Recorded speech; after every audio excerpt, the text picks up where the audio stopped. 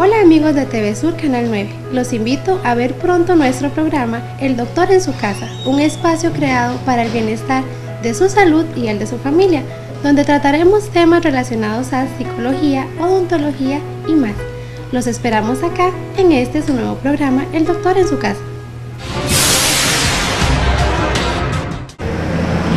Esta semana se llevó a cabo la celebración del 150 aniversario del Movimiento Internacional de la Cruz Roja y la Media Luna Roja, y así se celebró aquí en Palmar Norte. Efectivamente, este año estamos en el 150 aniversario del Movimiento de la Cruz Roja y la Media Luna Roja, y hoy específicamente 8 de mayo se celebra el Día Mundial de la Cruz Roja y la Media Luna Roja. Cabe mencionar acá que la Cruz Roja a nivel internacional está conformado por 187 sociedades nacionales y es una fiesta a nivel mundial, por así decirlo, donde se promueve el voluntariado, el trabajo de la Cruz Roja y la, la acción humanitaria que nos caracteriza tanto. Hoy específicamente aquí en Palmar Norte estamos congregados los comités de la zona sur para hacer una conmemoración dentro del marco del proyecto LAR, el cual es un proyecto de prevención de desastres y reducción de riesgos. Estamos trabajando en 11 comunidades aquí en la región y, fue, ha sido una forma de reunirnos y promover la convivencia acá con, entre los compañeros y el proyecto de las diferentes comunidades y comités de la Cruz Roja. ¿Cuándo tiene este proyecto estar en pie? El proyecto inicialmente desde el 2011 en noviembre. Ah, está programado para finalizar en noviembre de ahora del 2013, estamos ya en la recta final. Se basa en promover el fortalecer las capacidades internas de Cruz Roja costarricense a partir de una serie de capacitaciones y actividades y a nivel comunitario promover la resiliencia. ¿Qué es la resiliencia? Es la capacidad de que una comunidad después de un evento adverso o un desastre vuelva a estar tal y como estaba antes del evento. ¿Cómo lo estamos haciendo? Mediante capacitaciones de primeros auxilios, análisis de vulnerabilidades y capacidades, brigadas comunitarias, estamos haciendo rutas de evacuación, simulacros, planes de emergencia comunitarios, planes de emergencia a niveles escolares, entre otro montón de actividades que se están fortaleciendo a nivel comunitario, casa por casa, planes familiares, orientaciones sobre el protocolo de estornudo, lavado de manos, planes de emergencia, usos del sistema 911 entre otro montón de actividades que ahí próximamente les vamos a estar invitando para que nos acompañen. Bueno, la actividad estuvo muy bonita, muy variada y de mucha información para los asistentes que participaron. Vimos el grupito de baile de acá, de, adultos mayores, el cual se desenvolvió a muy buen ritmo, ¿verdad? Y mucha energía. Y también este, después la actividad que se hizo así como inédita, buscando bailarines improvisados, pero que también fue bonito. Eso me gustó. Eso, eso es algo que hay que rescatar también, porque aparte de todo lo protocolario, que algo se saliera del protocolo. Eso es, es que esas son las, actividades bonitas, cuando algo no está programado y, sale así de improviso, pero para, para, darle más ambiente al asunto, ¿verdad? Pues no, no porque a veces hay actividades que se hacen espontáneas, pero más bien sale al revés el asunto, ¿verdad? No, esto fue más bien para darle más realce a la actividad. Y hoy que estamos celebrando el día del nacimiento de Henry Dunan. Pero además de toda la información que nos brindaron los personeros a cargo de la actividad, también se pudo disfrutar con el grupo Canitas del Terraba, quienes pusieron a más de uno a bailar. ¡La música!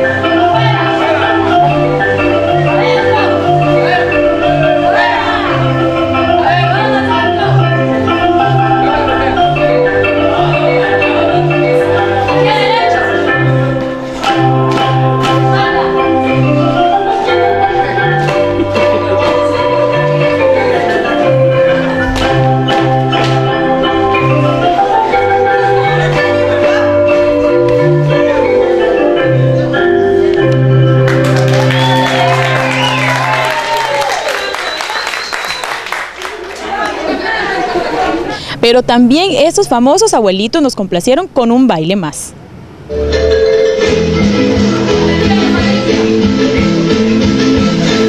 Caballito, caballito, caballito nicotiano, sabe de mis ternuras, de mis amores hermano,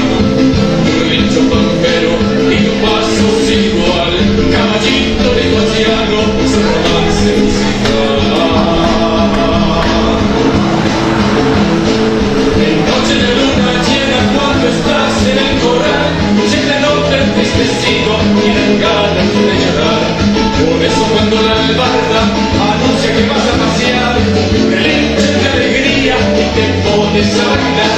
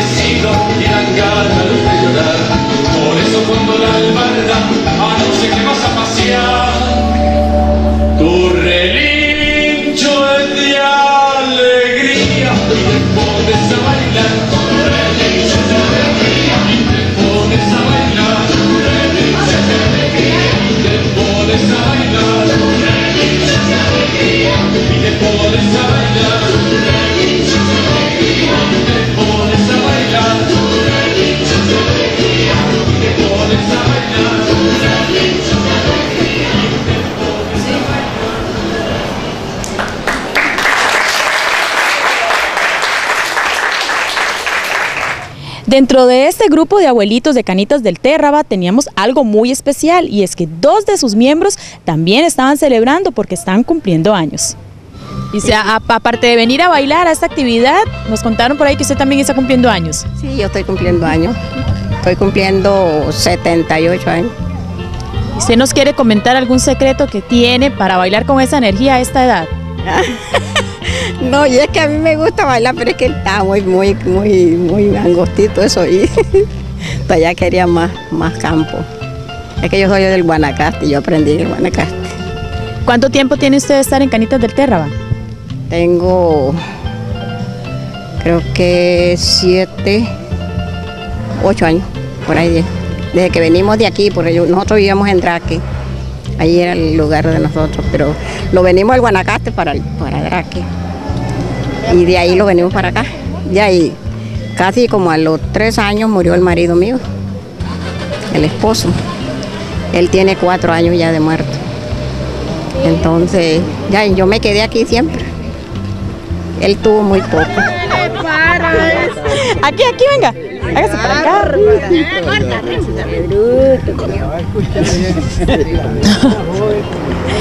Doña Dulcelina, aparte de estar en la celebración de lo que es los 150 años de, de la Cruz Roja, usted también está cumpliendo años Sí, 88 años, mi amor.